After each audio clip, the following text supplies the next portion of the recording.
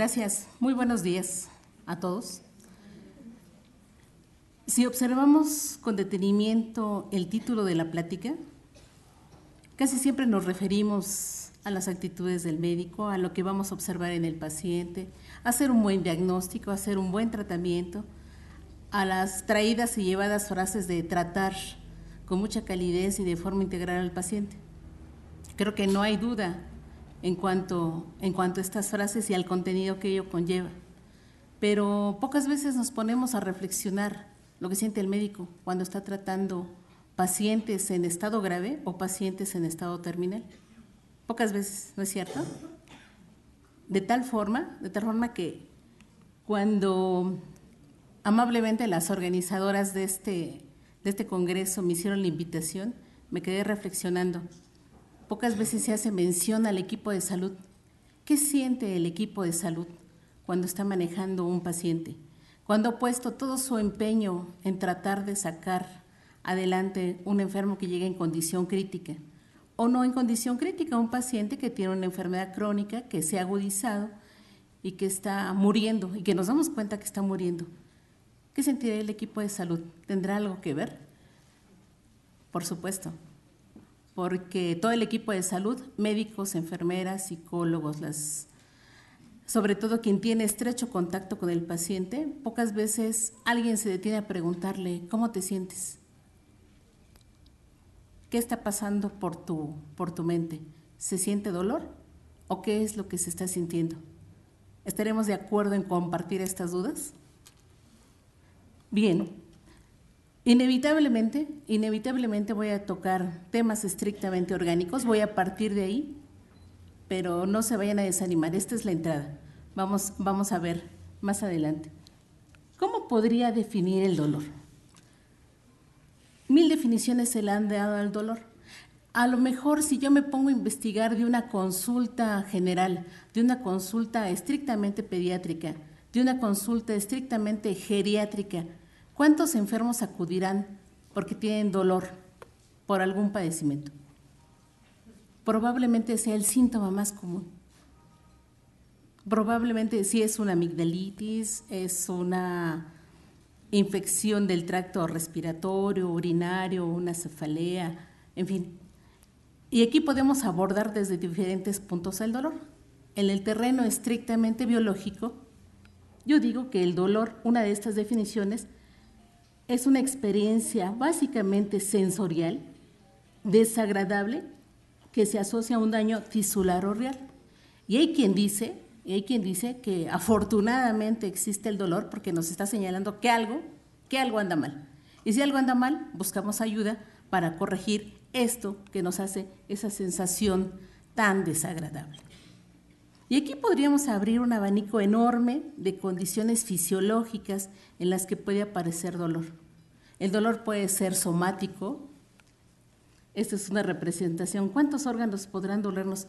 Prácticamente, prácticamente casi todos. Dolor de cabeza, dolor de articulación, de estómago, de vientre, de dolor precordial, dolor de articulaciones. ¿Cierto? Si yo me voy a un terreno estrictamente fisiológico, que es lo que yo, qué es lo que yo observaría aquí. Esa es una representación muy simple, muy simple de cómo es que se percibe el dolor. Vamos a ubicar algunos elementos. Les prometo que esto va a ser rápido porque me interesa pasar a los siguientes planteamientos que hice al inicio de esta charla. Veamos algunos elementos simples.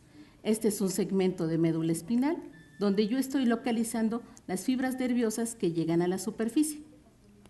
Bien, estas fibras nerviosas que llegan a la superficie, sabemos que su cuerpo, el cuerpo de esta, de esta extensión nerviosa, se encuentra localizada en médula.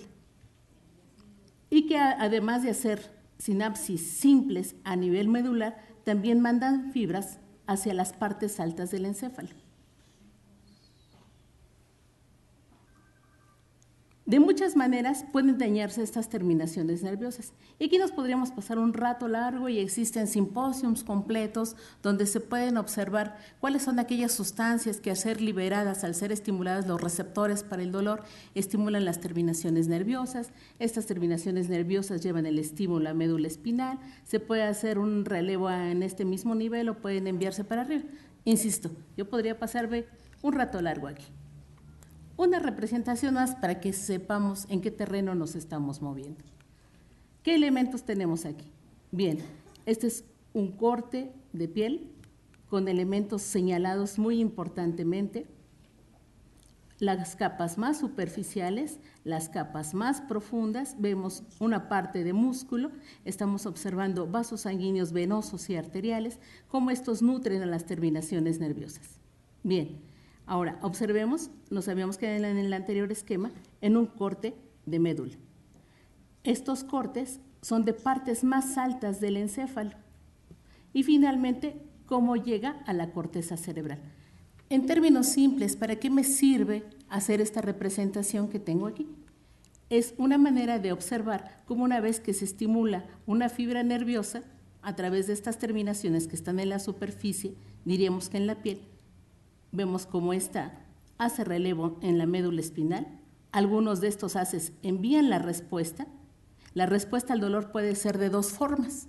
Una, o retiro si es una extremidad la que me están dañando, o al mismo tiempo se encargan de producir diversas secreciones sobre la piel. Esa es una primera respuesta. Pero también observamos que este estímulo no solo permite que haya esa respuesta rápida, esta respuesta se produce en menos de un segundo. Pero también hay otra forma. Resulta que esta misma neurona puede enviar una prolongación hacia las partes altas del encéfalo. ¿Cuántas veces no nos ha pasado que tenemos una raspadura, una cortada, una lesión? Decimos, ¿cuándo me la hice? Ni idea. Solo me doy cuenta porque me toqué, me dolió y aquí tengo algo que me lastimó. ¿Eso qué quiere decir? Que a lo mejor este estímulo no llegó hasta la parte de la corteza porque una vez que ese estímulo llega a corteza, nosotros nos hacemos consciente de ese dolor. Pero hay una situación muy, muy interesante, fíjense ustedes. Hay una parte antes de llegar a la corteza que se llama tálamo, que es un relevo que hace ahí el dolor. ¿Por qué digo que es interesante? Los estudios recientes desde el punto de vista neurofisiológico demuestran que en este sitio yo le puedo poner emoción al dolor. ¿Eso qué significa? Estaremos de acuerdo en que el dolor no es en sí solo ese estímulo doloroso, sino que hay veces que lleva cierto componente afectivo. Es decir, hay dolores que con esa intensidad nos podríamos revolcar de dolor y sin embargo no sucede. O todo lo contrario, es un estímulo pequeño y nos avienta a un, gran componente que puede producir reacciones incluso sistémicas. Se acelera el corazón, se sube la presión arterial, se eleva la glucosa, eh, nos ponemos pálidos de la cara, pálidos de las manos. Es decir, puede haber toda esa reacción. Este gran componente afectivo es en lo que yo le voy a poner énfasis enseguida. Cuando este estímulo finalmente llega a corteza cerebral, ubicamos perfectamente dónde tenemos el sitio de lesión. Dicho de unas palabras simples, el estímulo doloroso, además de sentirlo, le ponemos emoción y lo podemos localizar. Cuando ni le ponemos emoción ni lo podemos localizar, quiere decir que el estímulo solo fue a un nivel muy básico. Conforme este estímulo va tomando más centros más superiores, le vamos agregando más, más elementos. Y por eso es que resulta harto interesante. Una imagen más que nos puede ayudar en este terreno fisiológico. Lo que se está esquematizando en este punto, ustedes lo verán, es áreas verdes, azules, moradas, color naranja. Bien, estas partes, las partes verdes, corresponden a la inervación de las fibras nerviosas de la médula cervical. Fíjense hasta dónde nos llega. La médula cervical nos da inervación incluso hasta miembro superior y hasta la mano. Cuando decimos, ay, caray, no sé qué pasó, que me dormí muy mal y tengo dormidos dos dedos. Bueno, pues se lesionó en ese momento la raíz de C8, es decir, la última parte cervical. O a veces estas lesiones que frecuentemente suceden cuando hay eh, accidentes automovilísticos donde hay latigazo del cuello. Y que por eso nos ponen collarines que siento que se me acalabran hasta los brazos. ¿Por qué será? Bueno, porque las terminaciones nerviosas originadas en este segmento nos permiten entender la inervación que va hasta el miembro superior por la parte anterior y, posterior. Vemos qué sucede con la inervación de la parte azul que corresponde a la médula torácica. Fíjense cómo, por ejemplo, el ombligo corresponde a T10 y el nivel de la tetilla a nivel de T4. Esto para que tengamos una idea cómo es que se distribuye esta inervación sensitiva hablando de dolor somático, una de las clasificaciones del dolor. Y observamos que lo que está en color morado es las fibras que se desprenden de la región lumbar, esto visto por la región posterior. Y si observamos con mucho detenimiento, la parte naranja corresponde al, al último segmento de la médula, la médula sacra. Y vemos que, por ejemplo, la región del sacro, específicamente el ano, específicamente el escroto en el hombre, son ricamente inervados. Y lo mismo sucede en el caso de la mujer. Esto es una manera de darle un enfoque fisiológico, pero la intención primera era esta. La intención segunda, ahí voy. Estábamos hablando que el dolor tiene un importante componente biológico. Ya lo hemos revisado de una manera muy somera. Realmente esto es increíblemente somero, pero nos da mucha idea para poder abarcar los siguientes aspectos. Estaremos de acuerdo en que en el estudio de la complejidad del dolor participan factores biológicos, que lo acabamos de revisar muy someramente, factores psicológicos y factores culturales. ¿Eso como qué quiere decir? ¿Cómo qué quiere decir? Bueno, quiere decir que el individuo no solo se comporta orgánicamente, el individuo se comporta además de acuerdo a su influencia psicológica, pero sobre todo de, acuerdo a sus, a sus antecedentes culturales y dependiendo de cómo en su, en su grupo social se manifiesta el dolor. ¿Por qué hago mención de esto?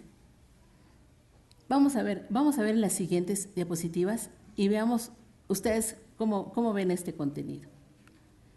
Esta es otra descripción del dolor. La descripción inicial, si lo observamos, era en un terreno casi estrictamente fisiológico.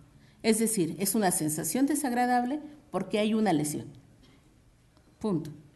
Pero ahí no le ponemos ni el factor emotivo ni el factor, ni el factor cultural. Se describe el dolor como una experiencia con gran componente afectivo. Su intensidad no necesariamente se relaciona con la gravedad de la enfermedad. Cuidado con esto, ¿eh? Es a lo que me refería. El dolor puede ser muy intenso. Este es un ejemplo. A lo mejor ustedes se acuerdan que en una competencia, si no mal recuerdo, en la Olimpiada pasada, hubo grandes logros de parte de atletas mexicanos, sobre todo en taekwondo, una de esas chicas, si no me recuerdo, gana una de las medallas de oro. Pasa una, dos horas y entrevistan a esta chica y le dicen, este, bueno, ¿y cómo te sientes? Debes estar muy contenta de haber ganado la, medalla de oro. No, dice, estoy feliz, indudablemente estoy feliz, pero también dice, estoy molida, estoy molida, me duele, decía ella, hasta la punta del pie. Bueno, la punta del pie y la punta del pelo también. Y entonces empieza a descubrir sus brazos, sus piernas y está llena de equimosis. Y dice, ¿cómo? Dice, lo que pasa es que cuando estás en combate, es tal la intención de darle, a lo mejor aquí se oyó un poco de, rollo, pero le dice, este, es tal la intención de, querer ganar una, una medalla para mi país, yo no sentía los golpes. Sí, es cierto. ¿Cuántas veces nos ha pasado en un partidito de, de básquetbol o de voleibol? Estamos jugando y nos dan trancazo, pero estamos ganando, vamos, vamos, ustedes ganan. Y el dolor, por supuesto que lo hubo, pero ese gran componente afectivo tuvo que ver mucho para que su intensidad no se relacionara con la gravedad, en este caso de una enfermedad. Y eso es muy cierto. Pues no solo este dolor depende de la lesión, sino de la personalidad de quien la padece. Evidentemente, para que yo hable de personalidad desde el punto de vista de atención médica, no solo es el terreno estrictamente fisiológico, me estoy metiendo más allá del terreno estrictamente fisiológico y biológico. Depende de la personalidad de quien la padece, del tipo de enfermedad, de la red de apoyo, las expectativas del paciente y de su estado anímico. Y aquí faltó poner del importante papel que juega la familia. Y aquí yo tengo que hacer un comentario sumamente, sumamente importante, porque probablemente ustedes estén de acuerdo conmigo. Nosotros, en nuestra cultura, en nuestra sociedad, en el México que hoy vivimos, como quiera que sea, la familia juega un papel tan importante como el mismo paciente. De hecho, cuando al paciente le decimos, estás muy enfermo, o el paciente sabe que está muy enfermo, o el paciente sabe que es portador de algo que lo va a matar, es algo, es un diagnóstico no solo para el paciente, es un diagnóstico para la familia. Querámoslo o no, estemos de acuerdo o no estemos de acuerdo, son diagnósticos que se hacen no solo para el paciente, son, son diagnósticos para la familia. ¿Cómo nos damos cuenta el equipo de salud que es un diagnóstico para la familia? Porque lo vemos.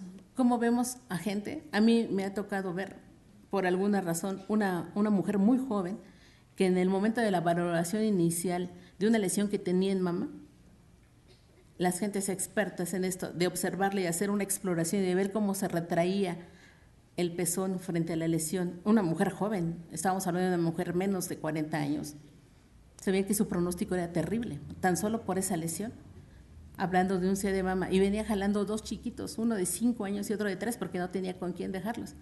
Entonces, qué terrible debe ser saber para esa mujer que podía estar, que de hecho estaba en una etapa muy avanzada de un cáncer, y tener dos, dos criaturas que le estaban esperando, por supuesto, por supuesto. de tal manera que nos permite plantear que el dolor tiene varios componentes. ¿Estamos de acuerdo? Tiene un importante componente biológico, fisiológico, tiene un importante componente psicológico, anímico, pero sobre todo tiene un importante componente cultural. Las mujeres en esta cultura, perdón por lo que voy a decir, y ojalá no hiera la susceptibilidad de los caballeros que nos están acompañando, la mujer en esta cultura está acostumbrada a tener dolor y a sufrir y aguantar. Díganlo si no.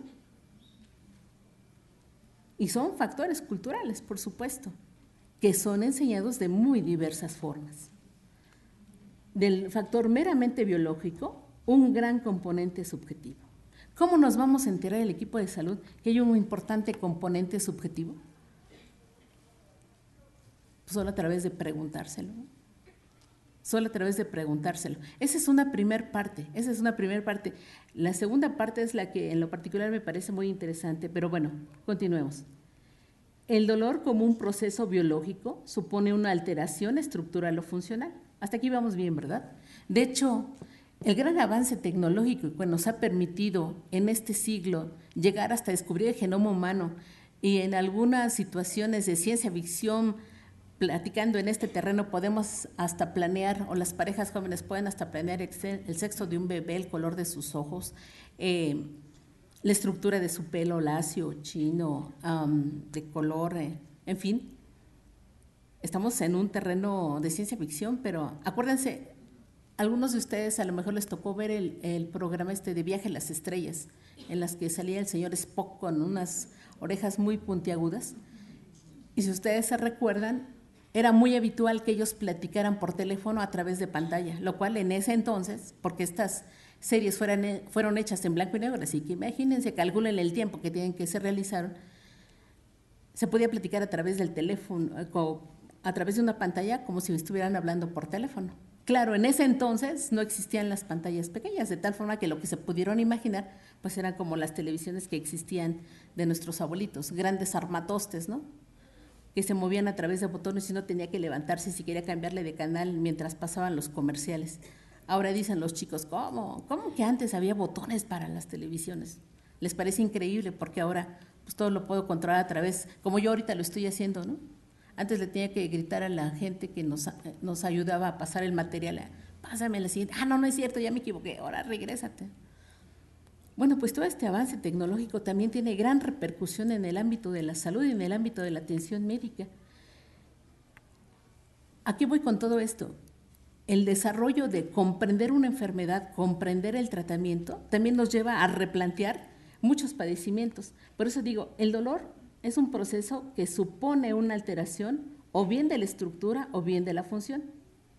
Pero también es un proceso psicológico que lleva dolor en sí mismo y aumentado dolor y sufrimiento. Y aquí pues, voy a abordar no solo el dolor como tal, como un estímulo sensorial desagradable, sino como sufrimiento, es decir, ese algo agregado a ese dolor. Y un proceso social porque supone una invalidez. Hay dolores que invalidan. Hay neuralgias del trigémino que no dejan dormir a una gente. Hay dolores posherpéticos que pueden durar por años, de veras, eso es increíble, pero de verdad puede suceder por años. Por supuesto, si ha sucedido por años, los pobres enfermos ya le han dado la vuelta a todos los analgésicos que ustedes conocen y los que no también y las combinaciones. Y bueno, conlleva invalidez. Es decir, la carga no solamente es una carga biológica de lo que tiene alterado, es la carga psicológica, pero además es una carga importantemente social. Nuevamente, el equipo de salud, ¿cómo lo puede entender? Solo a través de platicarlo, comentarlo, decirlo. Y hay veces que no siempre lo pueden expresar, por supuesto. ¿Será que existen marcadas diferencias en cuanto a la actitud del individuo frente a una experiencia dolorosa? ¿Será posible esto? ¿Marcadas diferencias? Es decir, un dolor que pudiera tener por igual una mujer parturienta que está pariendo en la sierra sin analgesia en absoluto y ustedes quien haya tenido esa experiencia en su servicio social como enfermera, como médico, como trabajadora social, les habrá tocado en vivo y a todo color. Y son primigestas y se la avientan y nada de que se quejan. Y el día siguiente me tocó ver a mujeres que se levantaban a lavarles a los otros chiquitos porque no había nadie más que lo hiciera. Hay eh, culturas como pueden suceder en que las, las mujeres se les aplica analgesia y, eh, obstétrica y por supuesto cumplen su cuarentena y demás. ¿Y qué sucede? Ciertamente este componente de, de la experiencia, por supuesto que define qué tan doloroso puede ser un dolor, valga la expresión. Se recuerdan ustedes que en el siglo pasado, no hablemos de más lejos, en el siglo pasado, para los grandes personajes, cuando estos morían, había mm, plañideras que se alquilaban. Sucedía que entonces eran alquiladas y su papel era que cuando iban a sepultar al, al gran personaje, pues las plañideras hacían su papel, es decir, gritaban y gritaban de dolor eran contratadas, por supuesto. ¿Cuántas veces sufrimos el dolor en silencio? Culturalmente también tenemos manera de expresar. Hay veces que se hace abiertamente. Regularmente, ¿cuál es la actitud de nuestra cultura ante el dolor? ¿Lo manifestamos frente a una gente común? Regularmente no. Regularmente lo escondemos, lo enmascaramos. Pero cuidado, ¿eh? No solo lo enmascara y lo esconde y lo modifica el individuo, también lo modifica el médico. Esa es la parte, desde mi punto de vista, interesante probablemente de esta plática. No solo el individuo que sufre y que tiene dolor puede enmascarar o se aguanta para no ver frente a sus demás eh, familiares que la pieza fundamental se puede quebrar, ¿no? La pieza fundamental en el equipo de salud muchas veces es el médico. ¿Qué sucedería si el médico se quebrara, se le notara el dolor, hiciera expresivo su dolor? Tiene consecuencias, ¿eh? ya, lo, ya lo veremos. Por eso decimos que en algunas sociedades el dolor y el sufrimiento se soportan sin manifestaciones externas aparentes. No es que no tenga dolor, lo estamos encubriendo. Mientras que en otras se acostumbra a expresar públicamente las emociones positivas o negativas. No vayamos más lejos. Regularmente cuando se está haciendo un sepelio, por ejemplo, en Estados Unidos, la gente, la gente doliente, va muy arreglada. Casi todos ellos van de, traje, las mujeres de, vestido oscuro. El, el, padre está dando el sermón frente al féretro. Dice, bueno, ha terminado todo y todos se retiran. Y finalmente al momento de descender el ataúd, ya no hay nadie. En nuestra cultura, totalmente expresivo, total y absolutamente expresivo, ¿cierto? Y es aquí cuando decimos, se entenderá entonces muy bien cuando hablo que el dolor no solo es dolor orgánico, no es solo una lesión en alguna parte de mi cuerpo, también la ausencia, también la falta, también la carencia, también duele. ¿Estamos de acuerdo?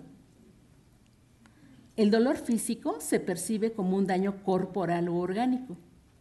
El dolor no físico, yo lo puse así, ¿eh? yo de hecho yo cambié esta frase porque me parecía que no era suficiente para poderlo explicar. El dolor no físico o sufrimiento se caracteriza porque hay un vacío, porque hay una carencia, porque hay una ausencia. De hecho, ¿cómo duele cuando se muere alguien aquí? Algo o alguna mascota que intensamente queríamos que era parte de nuestra vida. El dolor es intenso, es profundo. No tenemos ninguna lesión orgánica, ¿estamos de acuerdo? Sin embargo, el dolor puede superar todo lo imaginable de la intensidad del dolor. Y aquí el factor psicológico es un papel fundamental. No podríamos separar a un enfermo, ni remotamente, de la cuestión orgánica, de lo que está sintiendo, de lo que está pensando y de lo que ha aprendido en su cultura. Esta sensación de vacío, de carencia o de ausencia también produce un dolor intensísimo. La tendencia general, yo no digo que esto sea una regla, pero la tendencia en general ante el dolor es, es negarlo, es hacerlo pequeñito, es decir no lo tengo, no expresarlo. Lo enmascara tanto para sí mismo como para sus semejantes. Y esto es sumamente importante. O sea, no, no llores, que no se te note, que no se te note que estás llorando, que estás sufriendo, que te está doliendo. Difícil, muy difícil. Acuérdense que el dolor, hablando del terreno estrictamente fisiológico, no solo es una situación local, es una situación que puede dar manifestaciones sistémicas. Ya hablaba yo, se acelera la frecuencia cardíaca, se acelera la frecuencia respiratoria, puede haber hipertensión, puede haber hiperglucemia. ¿Cuántas gentes dicen o piensan, después de que perdí a mi esposo, a mi hijo, me hice diabética? He sufrido, la presión se me disparó. Bueno, es el pretexto, es lo que requería la enfermedad en terreno estrictamente fisiológico para explicar que finalmente se destapó. Pues todo esto puede suceder. Este vacío, esta ausencia, puede llegar a producir, por supuesto, todas estas reacciones. Y por supuesto, también en nuestra cultura es muy habitual que, digamos, esté enmascarado, que no se note.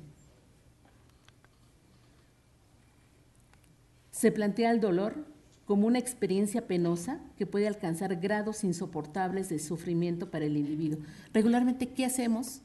Y esta es una, una, una premisa sumamente importante, sumamente importante porque entonces entendemos cómo el ser humano en cualquier época de la vida, en cualquier época de la historia del hombre, Imaginémonos cuando el hombre de las cuevas pierde a, pierde a un hijo o pierde a la compañera o la compañera pierde, pierde al hombre. Seguramente los sentimientos son muy semejantes porque, porque el hombre, y aquí nos podríamos meter en unas situaciones harto, harto complejas, pero además harto interesantes, porque el sufrimiento regularmente es algo que acompaña al hombre. Pero ¿qué, ¿Qué hace regularmente el hombre cuando el sufrimiento es impresionante, es muy fuerte y que no hay manera de que sea consolado? Es en este terreno cuando entendemos que hace su aparición las religiones. Es decir, el sufrimiento que me da este mundo, que me da mis semejantes en esta tierra es muy fuerte y no hay manera de que en esta situación yo tenga consuelo. ¿A qué recurrimos entonces? Algo más que me produzca ese consuelo. Y es entonces cuando aparece esta idea de alguien superior, de alguien poderoso, de alguien que me va a dar el consuelo. De ahí que existan frases, de ahí que entendamos las frases de que, pues Dios te da el sufrimiento, pero también te da la forma de soportar ese sufrimiento. Pero es en este terreno que aparece, por eso es que es un elemento sumamente importante cuando entendemos la aparición de este ser supremo, de esta religión. Regularmente cuando hablamos de dolor, de sufrimiento, inevitablemente hablamos de estas importantes creencias. Déjenme decirles que cuando estas creencias son fuertes, permiten que el individuo no se caiga, porque si no existiera esa manera de soportarse, de asirse de alguna ayuda tan importante, el individuo se derrumbaría. Y bueno, aquí entraríamos en un terreno sumamente, sumamente extenso. Lo quiero dejar a mención porque esto es lo que muchas frases como el dolor y el sufrimiento es lo que reafirman en el ser, en el individuo, su naturaleza humana. Es decir, se da cuenta, se da cuenta de lo, de lo finito y de lo vulnerable que es. Hay un filósofo muy importante, muy importante del siglo pasado, es decir, hace unos cuantos años, en que él ubicaba en que precisamente el dolor y el sufrimiento es lo que hace que pongas los pies en la tierra y te des cuenta de lo vulnerable que somos cualquiera de nosotros, precisamente bajo esta expectativa del dolor. ¿Cómo podemos entender al que sufre? Solo si se le escucha, solo si tenemos la sensibilidad para escucharlo. Porque a lo mejor todo el mundo nos lo dice, pero tener, tener esa sensibilidad para escuchar al que está sufriendo, no solo basta escuchar las palabras, sino tener esa disposición para ayudar. No se requiere ser médico para esto. ¿eh? A lo mejor al médico las exigencias para él son, son mayores en este sentido, pero suele ser algo deseable. Cuanto mayor es el conocimiento y la pericia científica, cuanto más eficiente la tecnología para el diagnóstico y la terapia, fíjense en lo que estamos comentando, más difícil resulta encontrar un buen médico. Es una frase fuerte para mis compañeros, para mis colegas, incluso para mí. Tenemos muchos más elementos para poder hacer un diagnóstico preciso, fino pero a lo mejor nos cuesta más trabajo escuchar, tener la sensibilidad de escuchar a la gente que está sufriendo y que tiene un dolor. En tiempos pasados el médico comprendía mejor el dolor porque se compenetraba más con la persona que con el órgano afectado por cualquier dolencia. Y yo creo que estamos completamente de acuerdo si alguien nos comenta que hay que tratar al paciente de forma integral, holística, con calidez, escuchándolo. Yo creo que nadie estaría en desacuerdo. Pero me permito, me permito hacer la siguiente reflexión.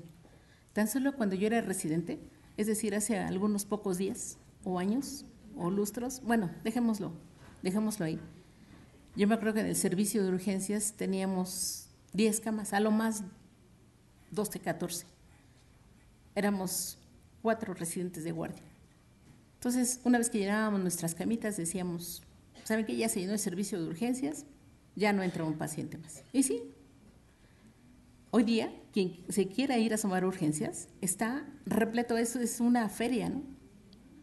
Está repleto de camas. Creo que son 30 camas más 8, 6 camas de choque. No me crean, pero son una multitud de camas. Pero no solo eso. Ahora tengo que hacer un aviso al comité de antibióticos, otro aviso al comité de infecciones nosocomiales, otro aviso al comité de calidad. Le tengo que avisar este, al administrativo para que me haga los trámites, a la enfermera para que siga aplicando el tratamiento, pero ya me hablaron porque ya llegaron otros dos pacientes, habíamos pocos residentes. Es decir, el número de pacientes, el número de, de enfermos que está reclamando atención en este hospital como en cualquier hospital público es impresionante. Es impresionante. Luego entonces, yo diría, podemos brindarle el tiempo, la calidad, la atención al paciente, podremos escucharlo, cuando este enfermo ya más o menos lo estabilicé, ya hay otros dos esperando y ya amenazan con que ya vienen otros dos de, consulta. Y yo creo que no estamos hablando ni de otro mundo ni de otra población, estamos hablando de lo que sucede hoy día. Entonces, yo creo que es muy bueno, estamos completamente de acuerdo en que hay que brindarle lo mejor al paciente, pero tendremos ese tiempo, pero además a lo mejor puede hacer rápidamente el diagnóstico, pero la separación entre el médico y el paciente se va haciendo cada vez más amplia más amplio, más amplio. Se compenetraba más. El médico de cabecera, pues era el médico de cabecera el que a todos se le comentaba. Es más, me tocó ver a mí, parte de mis maestros, que les decían, por favor, doctor, el, papá de la familia, por favor, doctor, acompáñenos. Hoy van a, venirme a pedir la mano de mi hija y yo quiero que esté usted. Acuérdese que usted la recibió. Por ejemplo. O este, este, van a ser mi nieto, toda la familia que fuera. Ah, hay una narración muy interesante que hacen reciente, una de las antropólogas que revisa precisamente estos temas, dice, cuando el bebé nació, sale sale el médico y está toda la familia y dice, el primogénito y fue hombre. Y hay de menos 30 gentes que están alborotadas de júbilo. Por eso yo decía, el paciente no es el paciente, es el paciente y su familia. Si la familia apoya, excelente. Si la familia no apoya, serios problemas. Serios problemas. Se compenetraba más con la persona que con el órgano afectado por cualquier dolencia, por supuesto. Y se entenderá que cuando el dolor tiene matices de sufrimiento mental, parece ser peor. Invalida más que la dolencia física, hasta inhibir al ser humano y limitarle sus actividades diarias. Pero por supuesto. Y a lo mejor yo podría pasar un rato grande hablando de las implicaciones de la tecnología en la relación médico-paciente. Me podría pasar un rato largo también hablando cómo se ha deteriorado la relación médico-paciente y otro rato más largo cómo son la formación de los médicos en las escuelas de medicina, cuando muchas veces se erige como el principal protagonista de una actuación médica el médico. Luego entonces si el médico tiene dolor, no, pues que no se te note, no vayas a llorar. Fíjense que hay una experiencia que, que, a mí en lo particular me pasó hace, hace muchos, muchos años. Nosotros cuando éramos internos, realmente no nos tocaba dar las malas noticias y que un paciente fallece. Entonces, por alguna razón, a la gente encargada se le ocurre decirle a uno de mis compañeros internos que le vaya a decir a la mamá que su hijo ha muerto. Y dije, pues, eh, eh, pues no podíamos decir que no, porque era una indicación que nos estaba dando un superior. Muy mal hecho, por muchas razones. Pero bueno, se para mi compañero, se para frente a la mamá, y antes de empezarle a decir que pues, el niño había fallecido, mi compañero lloraba a borbotones, así a borbotones, y, y nos quedamos así pasmados porque dijimos, bueno, eso hace él, ¿qué tal si me hubiera tocado a mí irle a dar la noticia a una gente? En primera, porque no teníamos experiencia. ¿Pero qué estaría sintiendo mi compañero? Pues igualmente dolor. Pero eso casi es, casi es eh, imposible que se manifieste de parte del médico en, una, en, una, en un acto clínico, pues. Y esta es la otra parte de la plática. ¿Qué siente el médico cuando se le está muriendo un paciente o cuando ya se le murió? Casi no nos cuestionamos eso, ¿verdad? Los médicos también somos seres humanos, de tal forma que biológicamente somos igualitos. Qué bueno, afortunadamente de tal manera que nos entendemos muy bien porque sentimos casi que lo mismo. También nos, enfermas, nos enfermamos, sentimos dolor, compartimos el dolor y nos preocupamos más por el dolor de otro que por el de sí mismos y el de los suyos. Puede sonar muy romántico, pero créemelo que en muchas ocasiones así es. No lo estoy asegurando para todos, pero no es tan solamente romántico y escrito en el papel. Se los puedo asegurar que hay veces que estamos sufriendo tanto como los enfermos. Decimos, híjole, pobre, ya le tocaron tres piquetes y va otro y es a la arteria, híjole, y le va a tocar intubada. Pobre, le ha de estar doliendo, ¿no? Cuando enfrentamos el dolor y el sufrimiento de un paciente, cuando enfrentamos el dolor y sufrimiento de un paciente, nos expone a tener que admitir nuestros propios temores. ¿Qué tal si me hubiera tocado a mí? ¿Qué tal si a mí me hubiera tocado ese accidente? Y si yo me pongo mal, y si me traen al hospital, y si me tienen que hacer todo lo que yo le estoy haciendo, pero sobre todo que somos vulnerables. Esto probablemente debía haberlo puesto en mayúsculas y subrayado. Somos vulnerables. Somos tan vulnerables como cualquiera de los que están en esta sala. A lo mejor más, porque tenemos una muy baja sensibilidad al dolor. Eso es muy cierto. ¿Por qué no se nos nota? Bueno, lo enmascaramos, bueno, lo negamos, bueno, no podemos mostrarlo pero tiene sus efectos, ¿eh? sus efectos y efectos acumulativos, vulnerables y limitaciones, a veces no reconocidas por el propio médico. Precisamente lo que comentábamos, cómo enfrentar el dolor y no poderlo expresar. Se inhiben respuestas, se reprimen reacciones, se justifican acciones que incluso causan más dolor. Esto es parte del dolor del médico.